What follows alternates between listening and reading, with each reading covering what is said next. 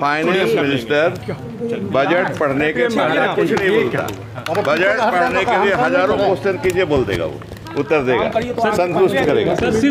ये है people's budget है। सुन लीजिए पीपुल्स बजट आम लोगों का बजट है।